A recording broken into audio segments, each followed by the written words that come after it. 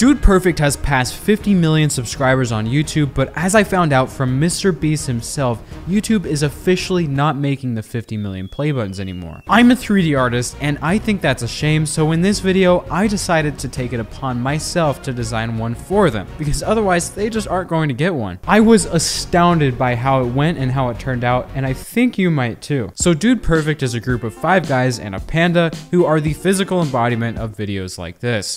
They're famous for their incredible stunts, challenges, and above all else, trick shots.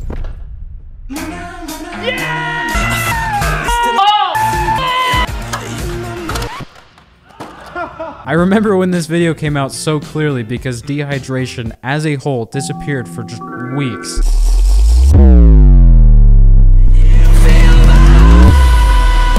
I'm sure most of us have seen Dude Perfect's videos at some point, and they've definitely made YouTube a more entertaining place, so if anybody deserves an award, they absolutely do. I started this design process by doing some research. As we know, the 50 million play buttons always have a large base with a tall element on top, which is based on the logo or branding of the creator it's designed for. When we made Mr. Beast's play button, I used an aluminum base with a diamond play button tower supporting a Damascus steel Mr. Beast logo. It was an excessively difficult process, so I can understand understand why YouTube wants to stay as far away from that as possible, but I still think it's worth it because creators with 50 million subscribers have usually had a massive impact on the YouTube community. There are four awards that YouTube has officially created and they all look very different. This one isn't even a play button, so there's lots of wiggle room for the design. I rewatched some of their videos to take notes on branding elements that they use frequently like the panda, the logo, the color palette, and anything else that could potentially prove useful. The biggest thing that caught my attention was this awesome intro where their logo forms out of various kinds of sporting equipment. Try for a second to envision this as a play button and that's pretty much why it caught my attention. Their primary color palette consists of a dark gray and this neon teal, which is their main color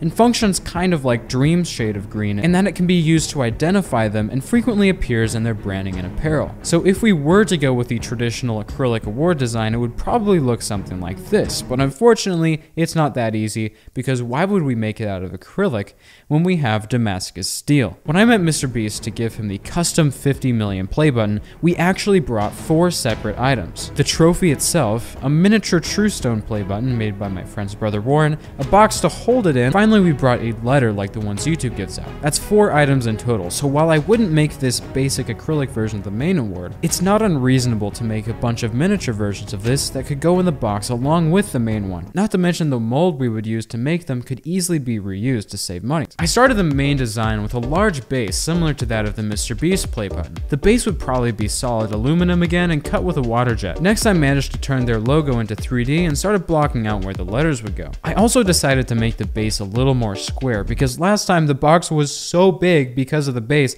that we barely got through security, we had to pre-board two planes and only one airline would actually let us on board. By making a square base, the award can be a similar size, but the crate would be much smaller. One problem we had with the Mr. Beast play button button was it was hard to get a good angle on it since you're looking down on it most of the time. So for this play button, I angled the lettering up a little bit for easier viewing. The reason we put these ribbons on the Mr. Beast design is to fill up the blank space to the left of the award, otherwise it feels unbalanced with the extra mass to the right. In its current state, the Dude Perfect lettering also has an unbalanced feeling to it even though it's perfectly centered. If we could figure out some sort of sporting equipment or on-brand object that could act as a ribbon, it would solve this problem completely, but for now, I'm just blocking it out so I'll put a chain there for the time being. Notice how the blank space is no longer apparent just by adding something to the back right. But this would be a pretty boring award if it was just a couple letters and a chain, and we still have a lot of reference material to go off of. I started sketching random details we could add to the award based on their intro sequence, but for the final design,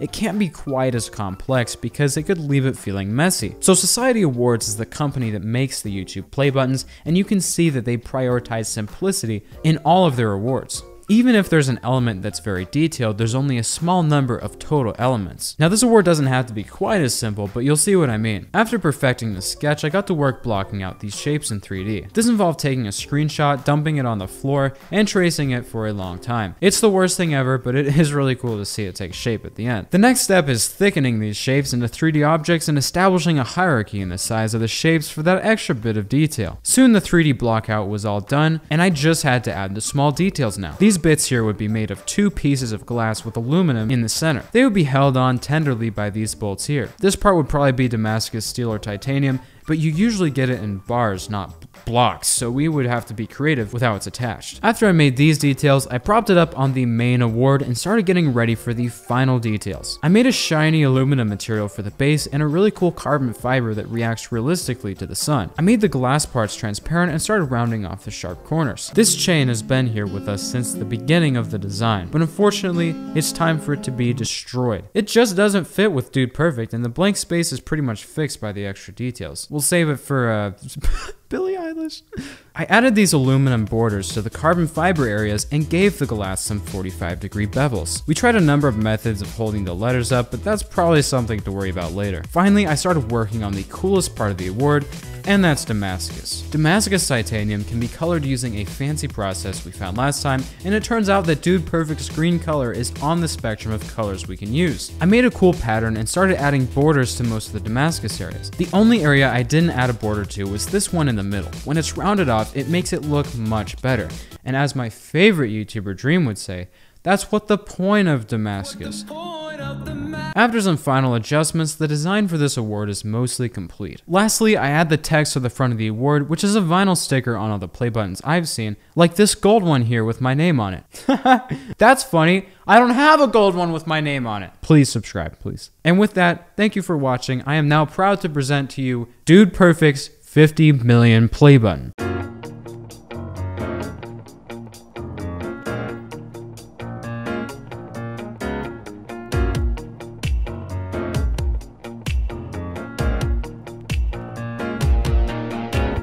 I'm super proud of how this one came out. Thanks so much for watching, and if you enjoyed this one, here's the next video. I hope you watch it and that you have a great week. Until next time, stay out of trouble. Don't do crypto.